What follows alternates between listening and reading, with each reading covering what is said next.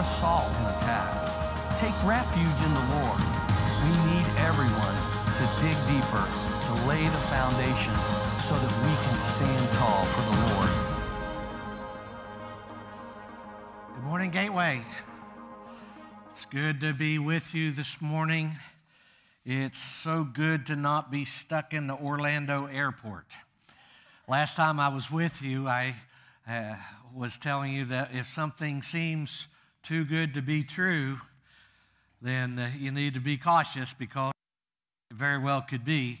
And uh, I had found these airline tickets to Florida that were just at such a price, it was, it was almost too good to be true. And I was wondering if I'd really have a flight. Well, the flight down was no trouble um, till we got to the Orlando airport. That was a different story. It took two hours to fly down, took two and a half hours to get our luggage.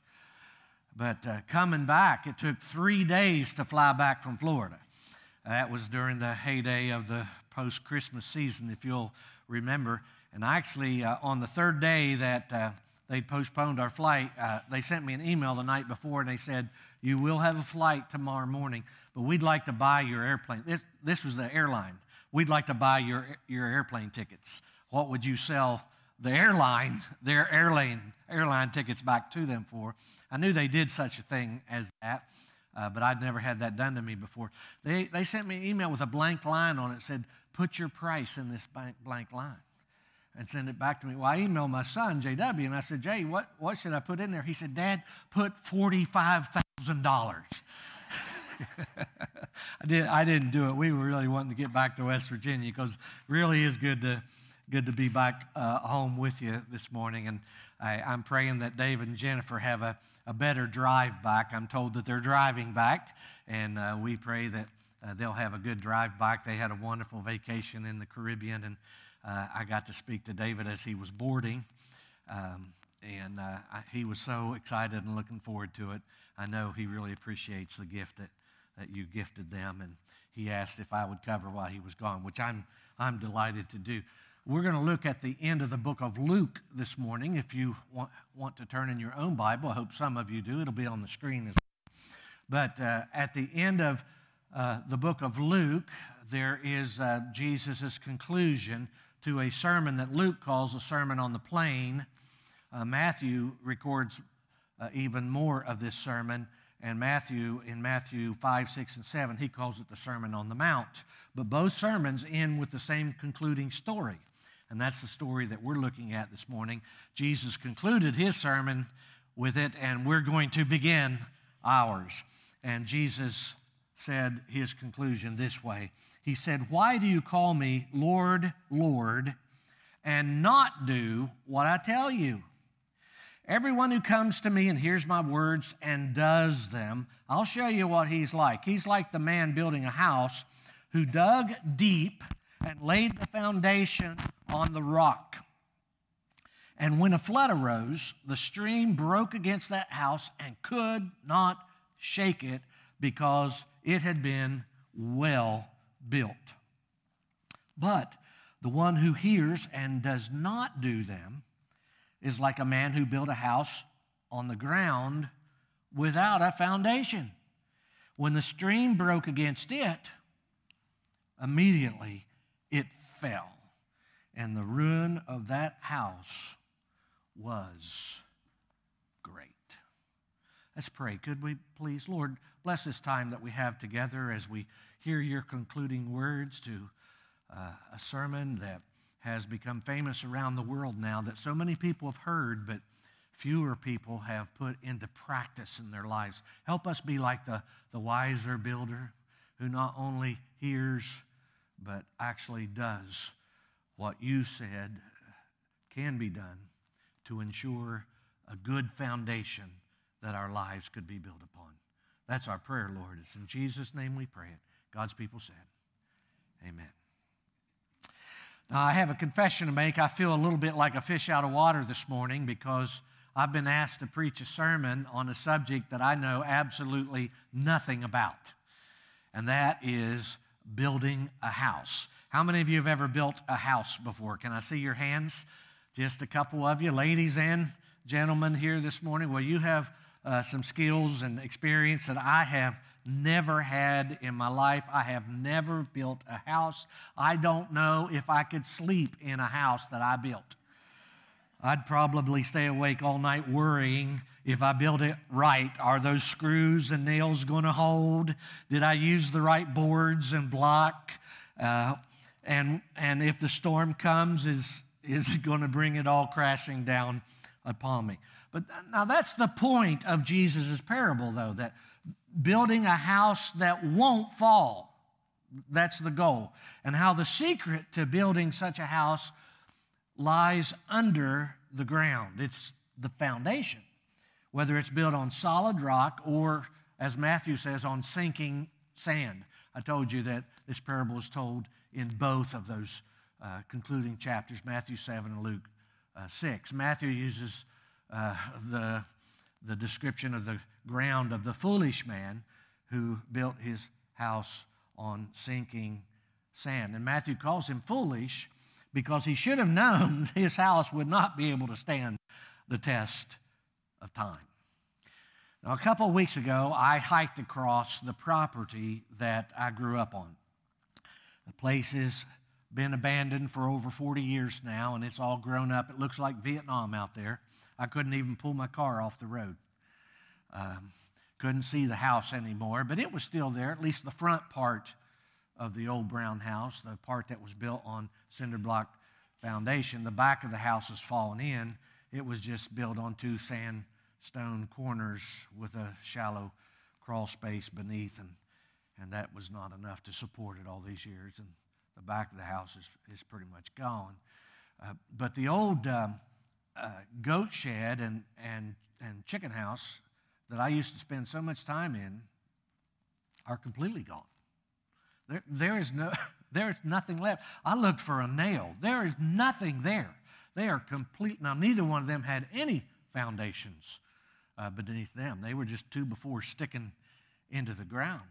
Um, but uh, all that's there today is just two leveled out pieces of ground in, in the hillside. Other than that, you wouldn't know anything was there. How do you explain that? Each of these uh, houses of sorts had to endure the very same storms. They were, uh, they were, all three of them were within stone's throw of each other.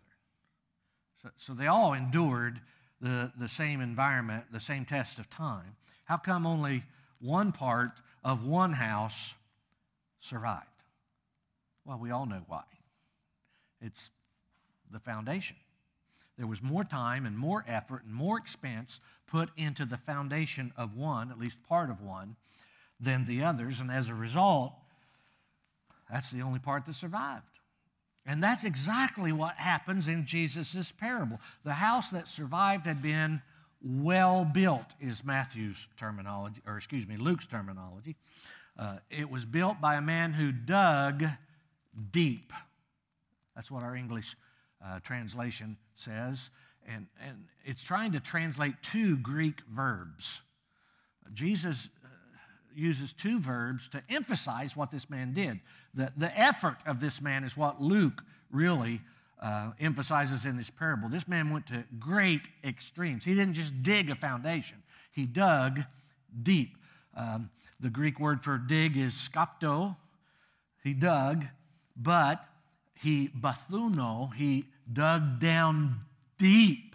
Some of you are familiar with bathysphere, the original name for the submarine, that which would go down deep into this world. Bathuno. He not only scopto dug, he dug bathuno down. He went down deep into the ground. The New American Standard Bible translates uh, these two Greek verbs with a footnote by saying literally, the man dug and went deep.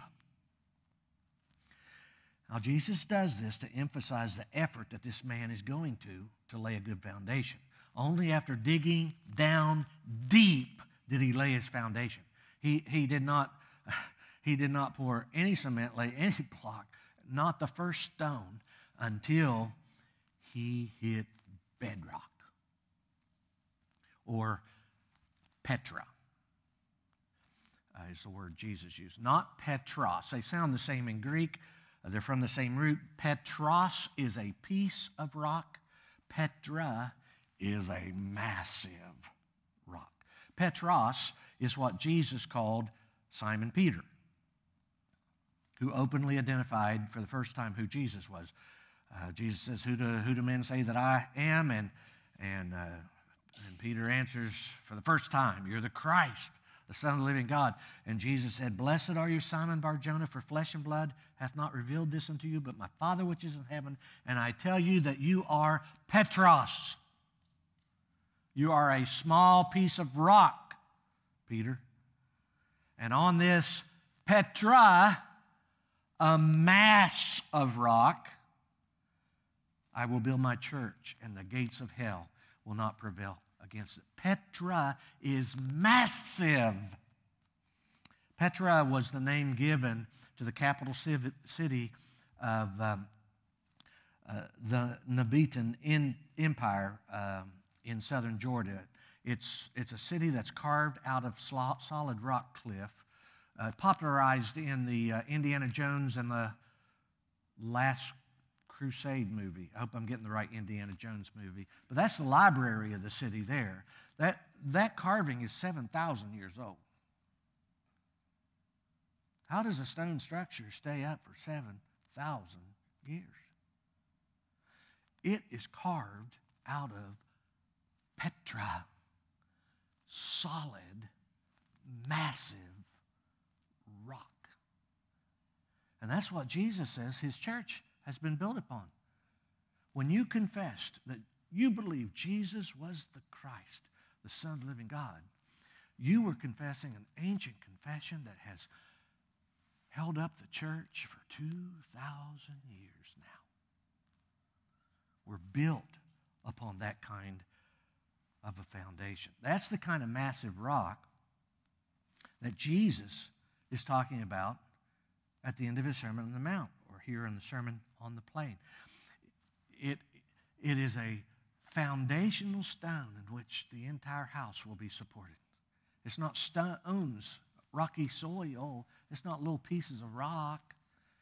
It's one solid bedrock. One Greek scholar uh, translates uh, this passage with Jesus saying this Everyone coming to me and hearing my words and doing them, I will show you to whom he's like. Like is he to a man building a house who dug out and went deep and placed a foundation upon the rock mass. He dug and he dug and he dug and he dug down deep. He puts in extra time, extra effort, effort and expense until he hits pay dirt solid rock upon which he can build a solid home that'll be able to withstand any storm. And it was a lot of work. It was a lot of work. He was still digging holes and trenches and drainage ditches while the other man was finishing his roof. But it didn't matter. This man knew that building a solid foundation would be worth it. It would prove itself worth it when the inevitable storms of life would come. Which is probably pretty good advice when it comes to building a house. I don't know, I've never done that. But Jesus really wasn't talking about building a house, was he? He's talking about building what? A life. He's talking about you and I building our lives, lives that might withstand any storm that this life or the life to come might throw at us. And you do remember that there is an eternal storm coming, right? When the wrath of God will blow across this world. When, as David reminded us last week, the Lord is going to wipe the grin off of a rebellious world that has thumbed its nose at God and God's way of living for the last time. God's wrath is coming. Will your house be able to stand? when that kind of a storm blows in? And if not, how do we prepare for that kind of a storm? Well, in the analogy of the parable, we do that with a whole lot of digging. And discovering what Jesus wants done and then doing it. That's the real point of Jesus' parable. Doing, not just hearing, but doing. James says it this way Be ye doers of the word and not hearers only, deceiving your own selves. Only yourself. I mean, we're all here this morning to hear, but that's, that's not the litmus test that God is using. He's waiting to see how much of this hearing we'll put into our doing. Jesus prefaced this parable by saying, Why do you call me Lord, Lord, and not do what I tell you? Everyone who comes to me and hears my word and does them, I'll show you what he's like. He's like a digger, man. Uh, he considers all that extra time, effort, and expense worth it because of the solid foundation he'll build upon. And I, am sure all the backbreaking work in the hot sun and the blisters on the hands and the sore aching muscles in his back tempted him to quit long before he was finished, but he didn't quit. He wouldn't quit because the value that he placed upon having a place that was built upon such a solid foundation was worth it. Now, what kind of a value do we place upon having a life that is built upon a solid foundation in Christ, capable of withstanding whatever storm this life or the next blows at us? Is, is, is it really worth all this digging and discovering and doing what Jesus once done in contradistinction to what the world says is okay to be done? Because that's how Jesus says this solid life is built. Not Ford tough, but forever tough. You want a forever tough life? It's going to take some work. It's going to take some digging. It's going to take some doing. But it'll be worth it in the end. Now, how much time are you willing to put in building a life like that? both for ourselves, but also for our kids. How much sacrificing are you willing to do to pass this kind of a solid foundation onto your next generation? I was so happy in between services to sit out in the foyer and drink my cup of tea and just watch all the moms and dads and grandmas and grandpas bringing in their little ones and their little bit bigger ones. And uh, and I thought, man, there's people that see the importance, not just of believing these things and doing them things themselves, but making sure they pass on this to the next generation. It's remarkable. It's wonderful. Going to be so many more solid homes that are going to be able to withstand the coming storms because of what you're doing for these young people. And, and think about it this way, too. What else are you going to do with your time? I'm not saying there's not other things you can do with your time. I've often thought about that now that I'm a retired preacher. You know, do I, what else can I do on Sunday morning but go to church? You know, I've gone to church all my life. I, I know there's another life out there. I know something's happening out there. I don't know what it is. I've never participated in it. But obviously, the majority of the world finds plenty of other things to do besides go to church on Sunday mornings. But I, am going to stick with Sunday mornings. It's served me well so far. I, am going to stay with that and uh, preach every, every chance I, I get on, on those Sundays as well.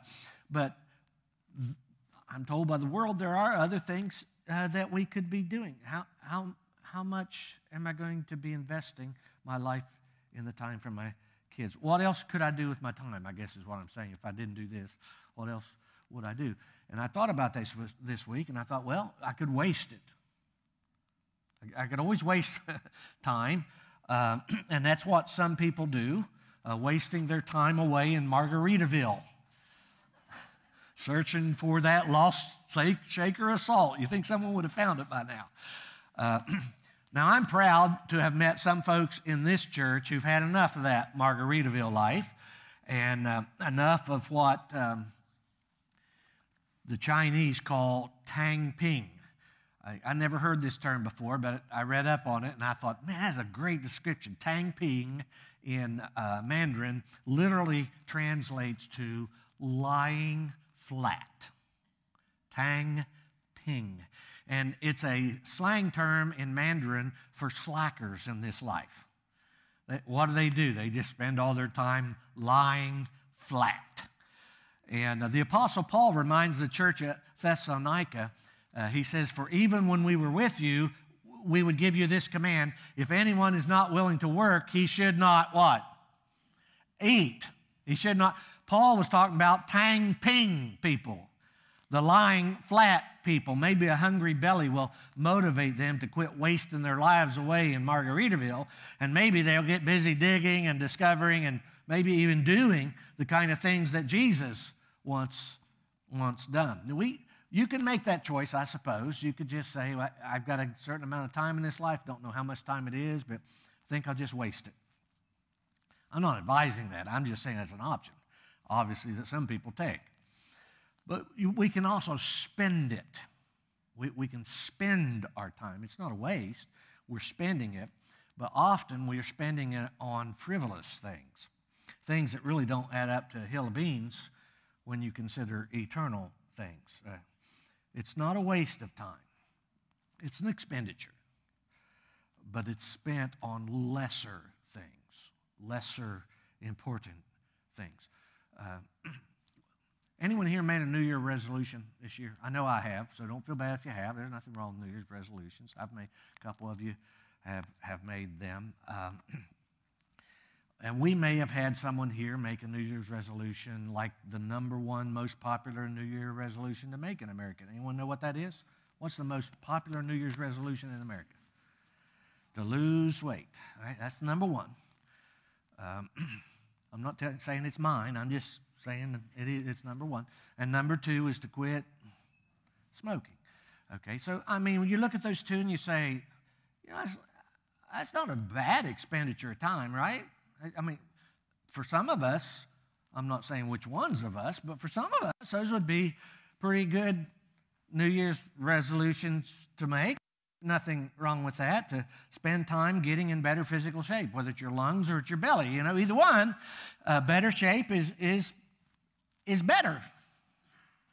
So that may be a good thing. I admit one of them would be a really good thing for me. But even then, as a believer in Jesus, I have to remember how the Lord's apostle was directed to tell us to train ourselves for godliness.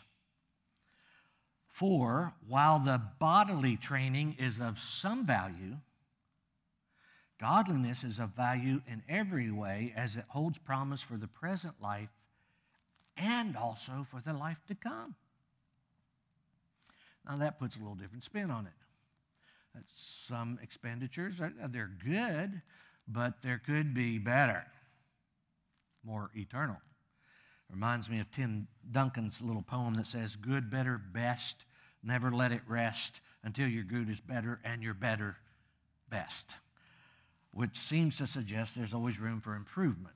That's what that poem tells me to keep trying to pr- improve it. Study a little longer, practice a little harder, manage your time a little better, be a little kinder, uh, get in a little better shape. And all those are good, maybe better, certainly better than wasting your time. But are they best? Are they the best things in which to spend your time? Paul seems to be saying that what we choose to spend our time improving matters too. The choice itself.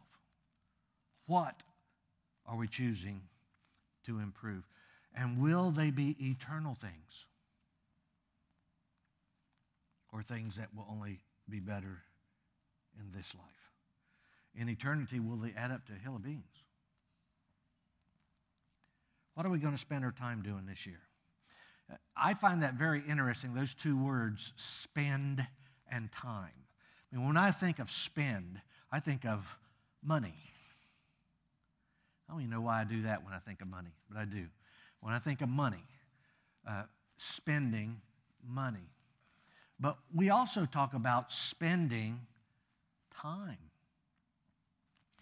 And uh, I did a little research uh, this last couple of weeks, and it seems that, at least in the English language, we've been using those references together for a long, long time. Spending time. Um, in fact, at least since the 14th century, in Old English, um, they were talking about spending time.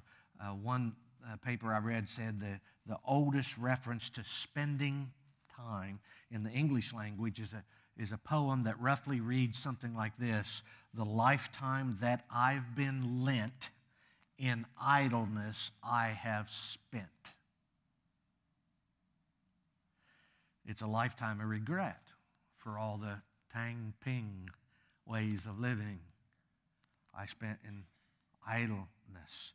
And, and it's a regret over a life not well spent.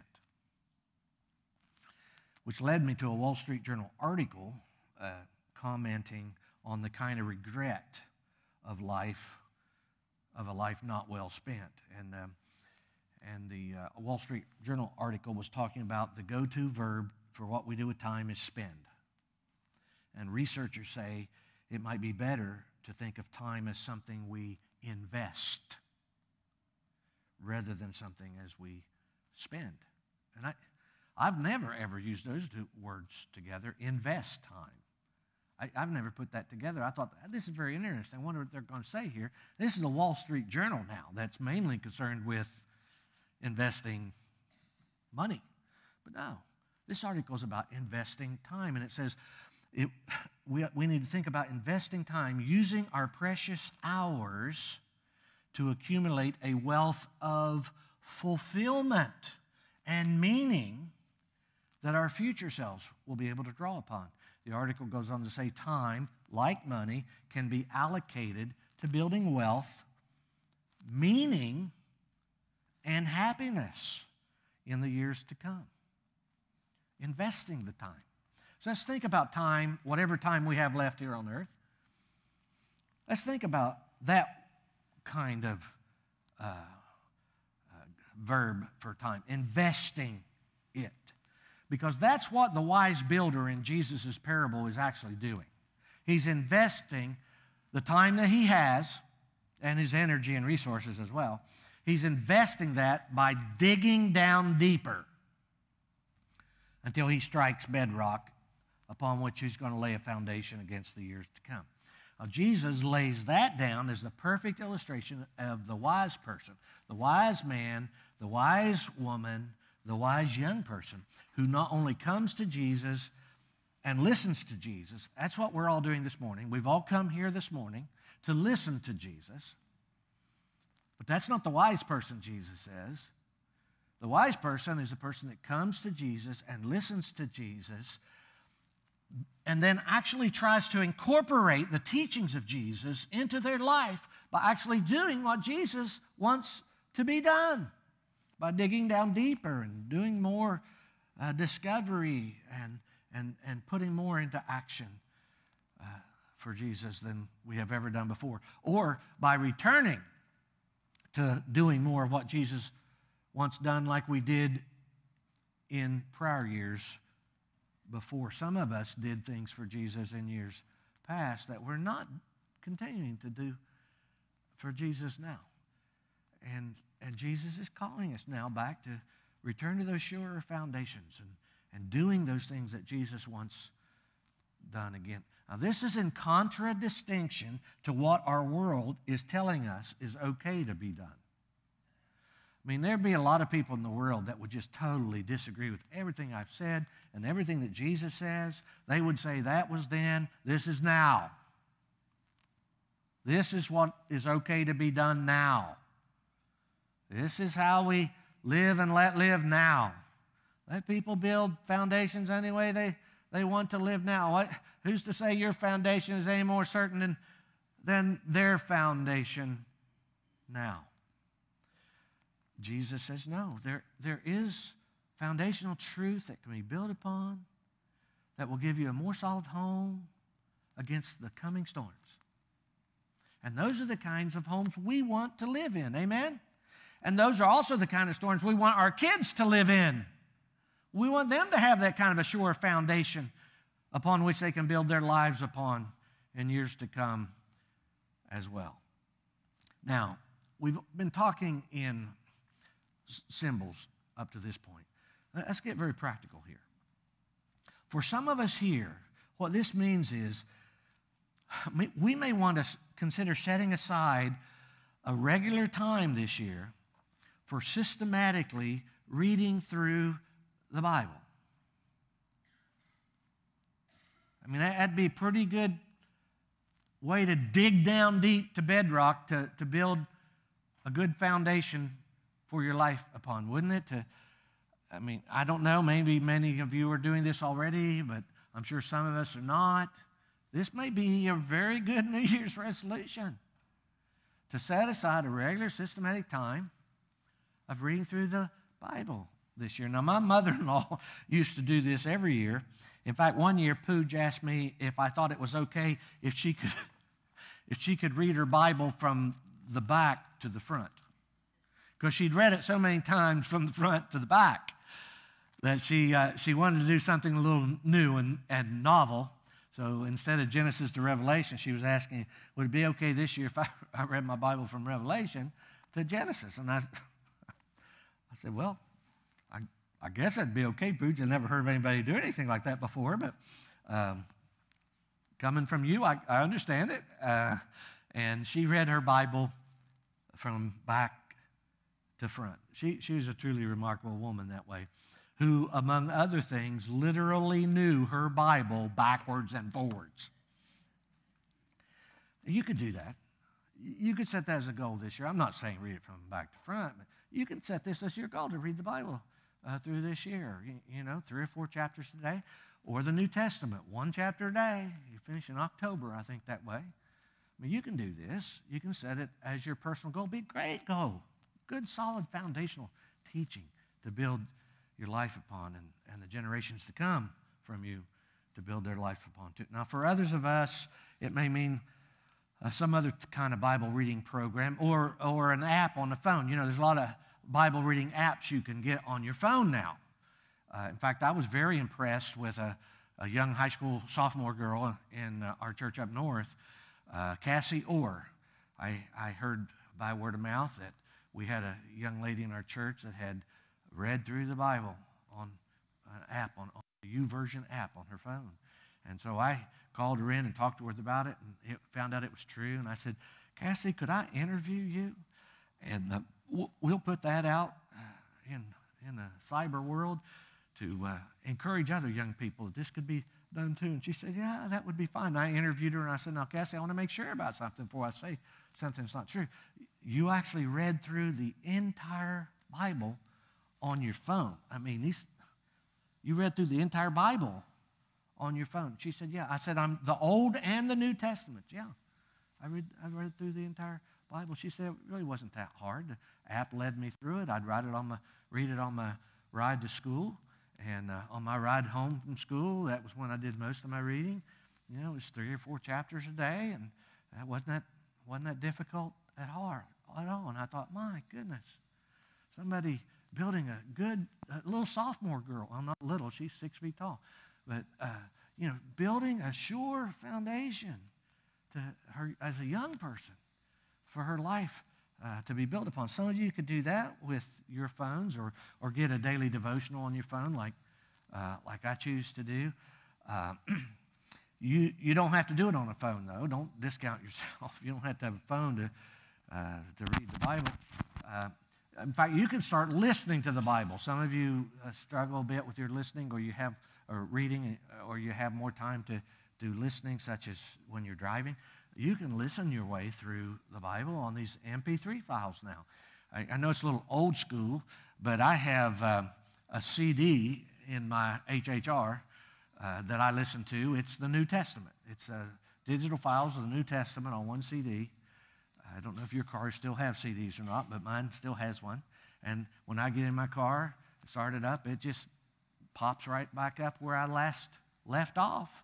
And I'm, I listen my way through the New Testament. And now that my radio's broke, I listen to it more and more. I should have broke the radio a long time ago. Uh, but it's, it's something that's not hard anymore to do. Uh, or think of this, think of this. Now, I know this is, this is high tech here, but you can actually read the Bible on paper now. Did you know that? You, you can actually find these things. They sell them in stores. You may have one on your bookshelf. You just may need to uh, find it and dust it off and pull it out again. But you can actually read through uh, a book and read through the Bible on your own, uh, page through page. Um, and there's so many different ways that you could do this. Uh, let, me, let me just give you an interesting one. Um, how many remember uh, the Revelation series that David preached through earlier last year? I, I think I got to do one of those messages too. He did like seven messages through the book of Revelation, and it was kind of a summary, kind of highlight uh, type series. And I thought, uh, you know what I'm going to do? Uh, each week, there's 22 chapters in the book of Revelation, so seven days in a week.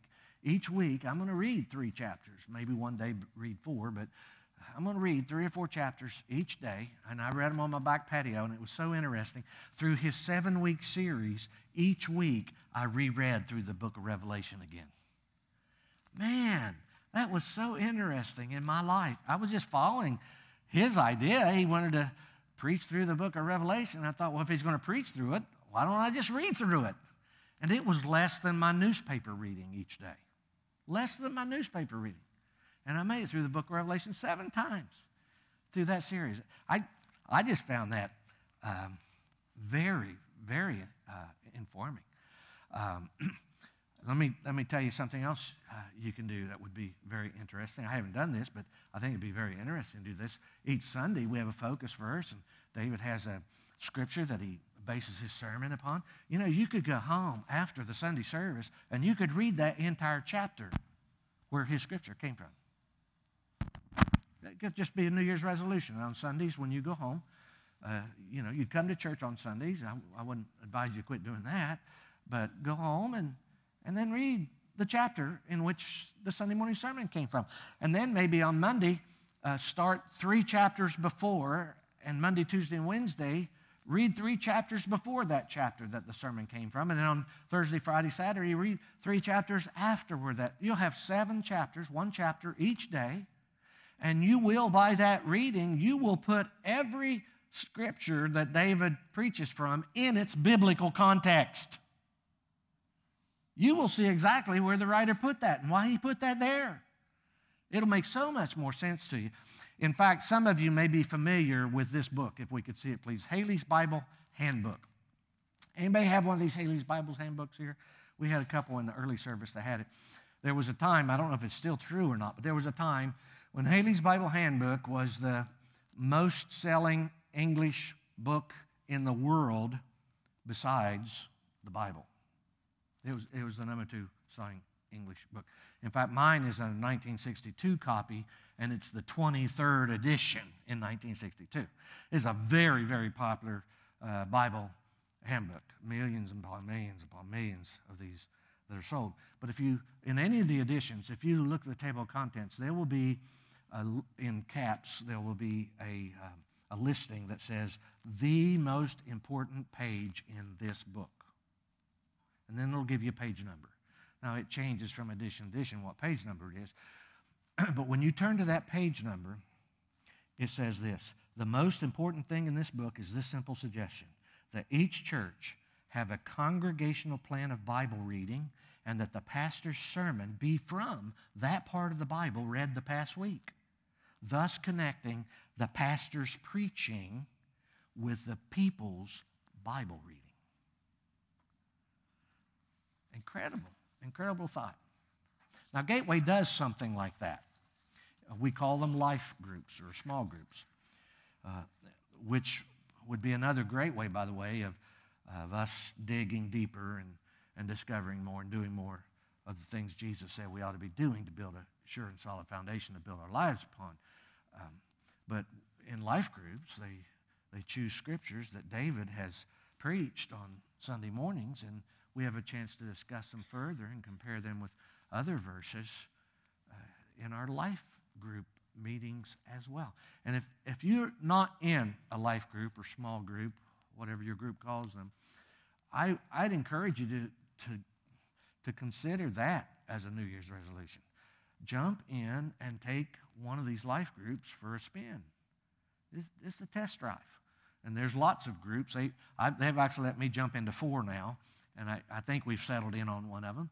But uh, jump in and, and test them out, see which group might be right for you, and uh, be a great New Year's re- resolution where each week you'll be digging a little deeper into what was preached Sunday morning, discovering more foundational truths to build your life upon, and then having some accountability partners, partners with the other people in your group to actually do these things, not just know these things, but actually begin doing these things, incorporating the teachings of Jesus into your life, building this more sure and solid foundation.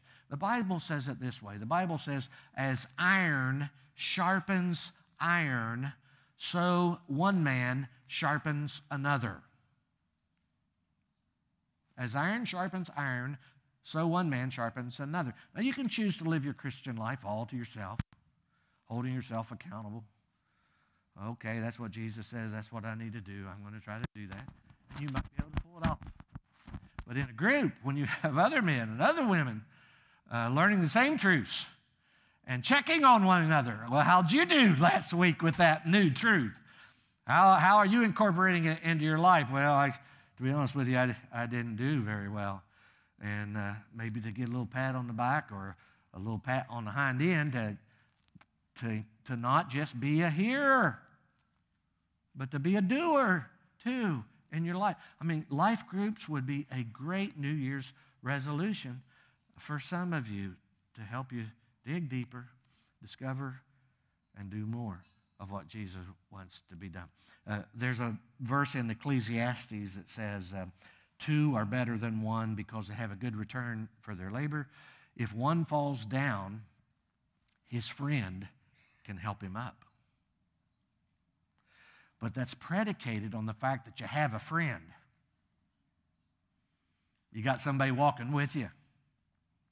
So that when you slip, and we all do, and fall, we don't have to have the medic alert button and say, Help, I've fallen, I can't get up.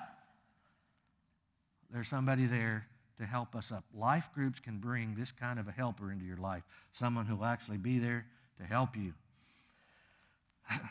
help you actually do what Jesus wants you to do in your life. Now, Gateway's going a step further that David announced last Sunday to help us build better foundations by designating foundations as our church strategic theme for this year, challenging us to dig deeper and discover deeper truths, uh, foundational truths that now we'll build our lives upon.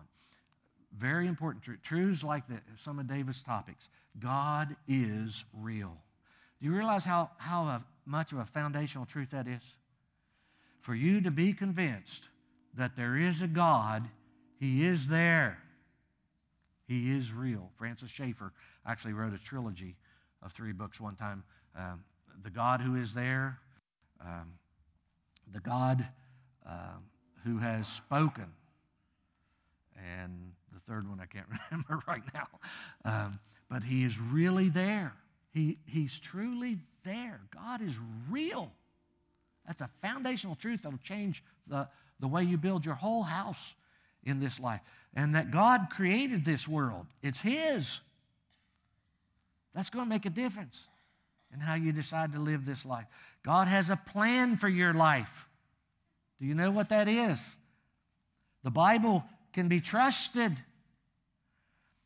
David's going to tell us what the Bible says about the truth of heaven and hell and God's plan of how we can enter one and avoid the other. These are, these are very crucial foundational truths upon which solid homes and lives can be built. Now, each last Sunday of the month this year, the Sunday morning sermon will address one of these foundational truths. And then on that last Sunday night of the month, parents and grandparents and life group leaders and anyone else interested will be invited to in, uh, to a training session here at the St. Albans campus and the Teays Valley campus that will teach us how to pass on these foundational truths to the next generation. Because it's not just us that we're interested in building solid homes that can withstand the coming storm, but it's the next generation as well. Now that we've come to believe these truths and, and we've decided to build our lives upon these truths, how can we pass that desire on to the next generation too?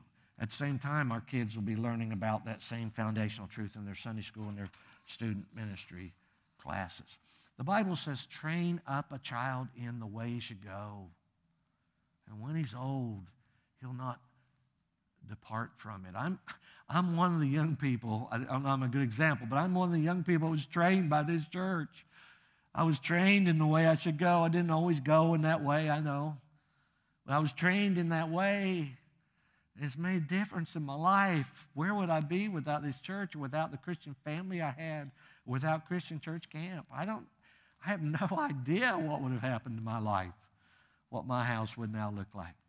This makes a real difference in your life. That's why Gateway does all this for the kids. Gateway comes alongside parents and grandparents who see the importance of passing foundational truths of God to the kids, all in hopes that together we will all, young and old, begin discovering and doing more of what Jesus once done. And in the process, building our lives upon a much, much surer foundation. Amen. My, uh, my little kindergartner grandson down in Nashville came home from school this last Friday, and he asked his big second grade t- uh, sister uh, if there was school tomorrow. He came home from Friday school and, and asked Addie, Is there school tomorrow? And Addie said, No, it's, it's a weekend. And little Benny said, uh, Oh, great, we get two days off. And, and Addie said, No, we get three days off. And Benny said, Oh, that's right. This is Mark and Luke and King Day weekend.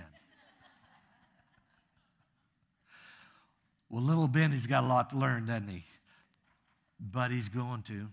He's going to be okay. You know that? He's going to be all right because he's got a Christian mom and he's got a Christian dad and they've got a great Christian church that are teaching and passing these foundational truths down to their kids. And what was it Solomon said?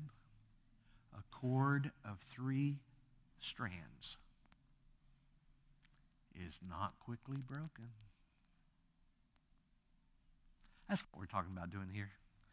Incorporating what Jesus says into our lives by actually doing them. And I, I, hope you'll join us this year because it really does make a difference what we do with our time. We can waste it or we can spend our time on other things, or we can invest it by using the time the Lord gives us this year on digging deeper, discovering more, and doing more of what Jesus wants done. That's the kind of life Jesus says can withstand the coming storm. The Bible says, Look carefully then how you walk, not as unwise, but as wise making the best use of your time because the days are evil. And they're not getting any less evil, are they? Let's stand. Close in prayer, could we please? Lord Jesus, thank you for warning us of the coming storm. And may we take your storm warning seriously for ourselves and for our kids. May we resolve to dig deeper and discover more and do more of what you want done. And when the storm comes, May our house stand.